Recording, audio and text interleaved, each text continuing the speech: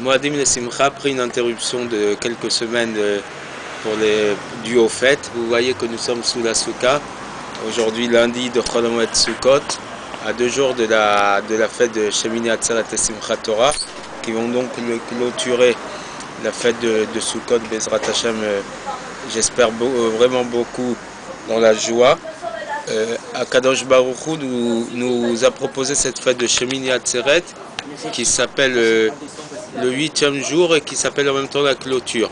Euh, ça paraît contradictoire parce que d'un côté, euh, qui veut dire la clôture, c'est comme si on rentre dans une nouvelle fête et c'est un fait que, le jour de Shemini Atzeret ne sera pas la fête de Sukkot. Mais d'un autre côté, pourquoi l'appeler Shemini, le huitième, comme si qu'il est lié avec les sept jours de Sukkot? Pour ça, le Midrash nous dit euh, il compare ça à une Seouda qu'un roi a fait dans laquelle il a invité tous ses enfants. Il s'y est réjoui pendant sept jours. Et à ce moment-là, il leur dit Kacha la peridatrem, votre séparation d'avec moi, elle est difficile pour moi. Et donc, je vous demande de rester encore un jour supplémentaire pour, euh, pour fêter euh, cette, cette présence et cette, euh, cette série, cette semaine de repas avec moi sous la souka. J'aimerais que vous, que vous la fassiez une semaine de plus mais c'est un fait que Shemini Atzeret, c'est une, une, une fête différente et séparée de la fête de Sukkot, et bien qu'elle fait le lien entre Sukkot et Simchat Torah, elle exprime justement particulièrement l'amour particulièrement fort qu'Akadosh Baruch porte au peuple d'Israël. Et, et, donc là, la question qu'on se pose, c'est à quoi va servir une fête supplémentaire, un jour supplémentaire pour, dominer les difficultés de la séparation. Finalement, la séparation va venir à un moment ou à un autre. Un jour de plus, ça va changer quoi? Au fait qu'Akadosh Baruch se sépare de nous. Si on si nous disait que ce jour de fête, ça marquait la continuité sans séparation, on comprendrait. Mais puisque déjà Dieu va se séparer d'avec nous, donc un jour de plus, finalement la séparation va venir. Est-ce que le but c'est donc de repousser la séparation avec un jour supplémentaire? Donc on doit comprendre que finalement grâce à cette fête supplémentaire, ça va marquer le fait qu'il n'y a pas de séparation. Même si on croit qu'on est séparé d'Akadosh Baruch le fait qu'il nous ait rajouté ce jour en plus, dans son but suprême, c'est justement pour nous montrer qu'il n'y a pas de séparation. Et donc comme ça on va comprendre le langage du Midrash qui nous dit Caché alai peridatrem. Elle est difficile pour moi, votre séparation. Il ne dit pas caché alai peridatenu, notre séparation elle est pour moi difficile, c'est votre séparation. Comme pour nous dire que lui ne se sépare pas de nous. C'est nous qui nous, qui nous, nous séparons les uns des autres ou, ou, nous avec lui, mais lui ne se sépare pas de nous, il reste attaché à nous sans aucune séparation. De son côté, à Kadosh Baruch il n'y a pas de séparation avec le peuple d'Israël il reste toujours attaché avec nous par un lien d'amour infini et sans aucune euh, limite d'espace et de temps.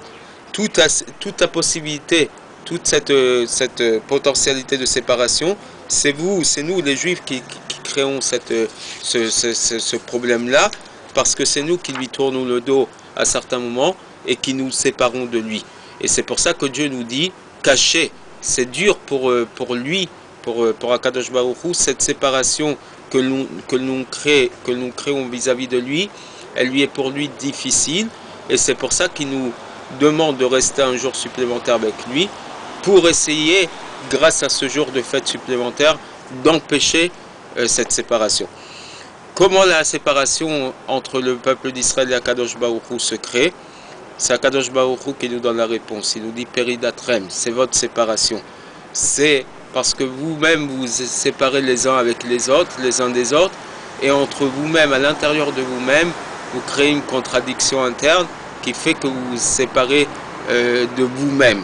C'est-à-dire, quand le, comme le Ham Israël, le peuple juif, est uni avec lui-même, euh, les uns avec les autres, il est attaché finalement avec Akadosh Baruch Mais lorsqu'il y a séparation, il y a fraction, friction entre les uns et les autres, Akadosh Baruch ça crée avec lui aussi une séparation et une, une forme de, désamour.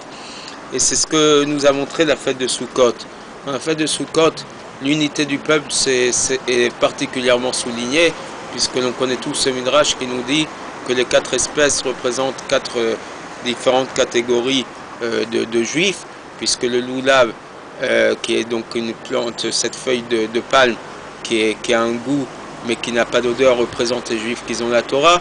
Le hétrox, ce, ce, fruit, ce cédra, qui a un goût et une odeur, représente les juifs qui ont et la Torah et les mitzvot.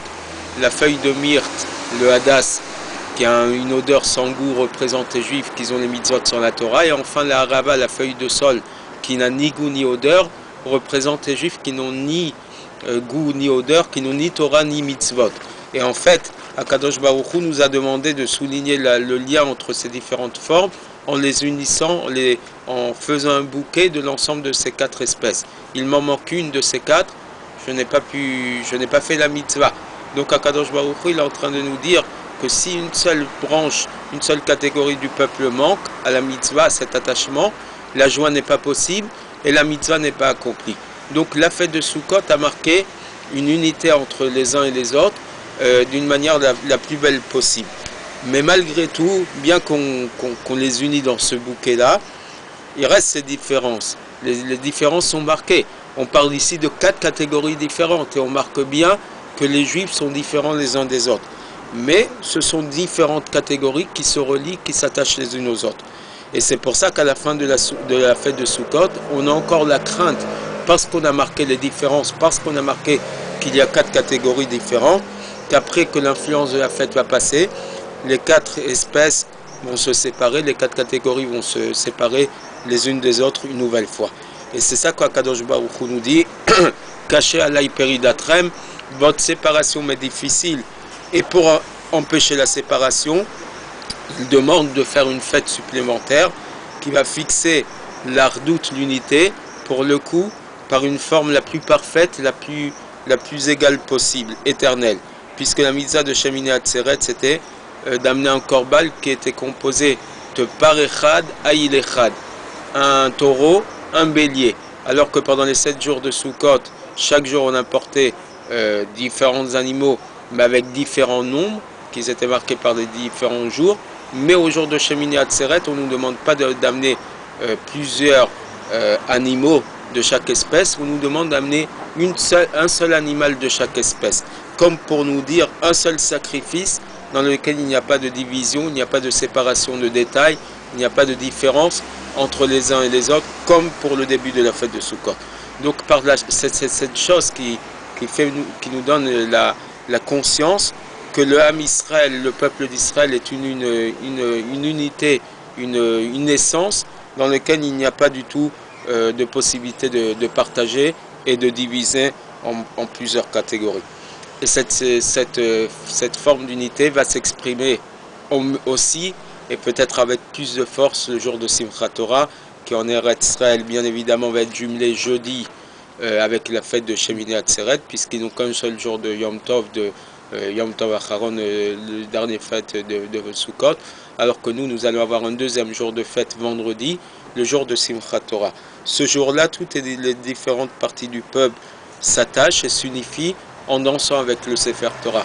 Il y a une question connue qui se dit, puisque normalement ça devrait être ceux qui étudient la Torah, normalement il n'y aurait que les rabbinim et les grands qui devraient danser avec la Torah, puisqu'il n'y a que qui étudient la Torah toute l'année et, qui comprennent la force et la valeur de la Torah.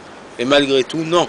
On demande à tout un chacun, pratiquant comme moins pratiquant, euh, juif qui a la Torah ou juif qui a le mitzvot, de danser tous ensemble avec le Sefer Torah. Dans toute année, il y a des différences dans la, connaissance de la Torah. Ma Simchat Torah, tout le monde danse de manière égale, sans aucune division et on ne peut pas faire de séparation, de distinction entre l'homme le plus simple et le plus grand érudit, le plus grand rabbin. Ça, c'est la véritable perfection qui va, conclure et qui va sceller ces fêtes. Et c'est ce qui va nous assurer que même après les fêtes, il n'y aura pas Dieu préserve de séparation entre les uns et les autres. Évidemment, euh, actuellement, on sait tous combien on essaye de nous détacher les uns des autres, puisque puisque par définition le peuple d'Israël est composé de plusieurs différences, de par nos cultures, de par nos parcours, de par nos, parcours de vie, donc euh, notre érudition dans la Torah, et que Dieu préserve de marquer la différence entre les pratiquants et les non-pratiquants. Euh, cet après-midi, je, je tourne sur Facebook et j'ai eu un grand choc quand j'ai vu une vidéo euh, qui tourne actuellement dans les médias israéliens. On nous montre une femme qui est en train de se tremper au mikvé et où la balanite, donc la femme qui, qui s'occupe du mikvé, la noie, euh, noie sa tête à l'intérieur du mikvé. C'est un montage qui me paraît choquant et révoltant parce que c'est la meilleure manière de marquer qu'il y, y, a une différence entre les pratiquants et les non-pratiquants. Et d'ailleurs, cette, cette publicité, euh, c'est pour euh, montrer que les Israéliens peuvent avoir aussi des mariages civils, mais que Dieu préserve qu'on en arrive à une fraction, une fraction totale entre les, pratiquants et les non-pratiquants, parce que le mariage religieux représente un attachement non seulement entre l'homme et la femme, mais qui s'appelle Kiddushin, des sanctifications. On sanctifie le couple par, euh, euh, cette union qui commence par la femme, par la pureté familiale, le mikvé. Je ne le dis pas en tant que religieux, même des non-religieux ont marqué, ont marqué ce, poste en disant que malgré le fait qu'ils ne sont pas religieux, ils ont été choqués par, euh, ce montage ignoble. ne, ne rentrons pas dans ce genre de jeu où on marque des différences entre les religieux, les pratiquants et les non-pratiquants. On peut avoir la pratique que l'on veut, on a la pratique que, que, que l'on décide d'avoir, mais la véritable force de notre peuple, c'est son cœur. La religion du cœur est la plus importante, c'est ce qui a toujours fait sa force, et que Dieu préserve que cette force qu'on a marquée pendant ces fêtes de Sukkot, qui pour ça s'appelle Zeman Simchatenu, la période de notre joie, la période de notre fête, parce que justement on est tous unis les uns avec les autres, Combien de personnes se sont rencontrées dans des sous-côtes et ont témoigné que ça crée des amitiés? Et d'ailleurs, ma tante, pour laquelle on va, dédier le cours, Bilabracha Bat, Rachel, était une femme qui, que ce soit dans la communauté de Lyon, dans laquelle elle a vécu pendant plusieurs décennies, et même dans la communauté de Paris dans laquelle elle vivait ces dernières années, elle a toujours montré combien euh, c'est un moment de partage, puisque plusieurs de ses amis féminine se retrouver dans cette souka avec elle, à Lyon et à Paris. Et c'est comme ça que l'on marque notre force d'attachement, d'unité des uns avec les autres. Continuons d'être unis, ça nous apportera beaucoup de simcha, beaucoup de joie. Et restons dans la joie de, simcha de, de Sukkot et Simchat Torah. Je terminerai exceptionnellement avec euh, une petite, euh, un petit chant, quelques secondes d'un petit chant. ושמחת בחגיך והיית שמח ושמחת בחגיך והיית שמח Voilà ce chant de fête est bien évidemment marqué pour la fête de Simchat Torah, Simchat Betashoeva, que beaucoup de communautés en France, en Amérique, aux États-Unis, en Israël marquent pendant les, les, tous les jours de Sukkot, que ce soit Yom Tov, euh, Chol Moed, et encore plus pour Shmini Atzeret et Simchat Torah, que cette joie nous accompagne toute l'année et, et qu'on ne vive plus que, que de la joie et la joie éternelle jusqu'à la venue de ma chère très rapidement. Amen. A tout de suite pour l'histoire de la semaine.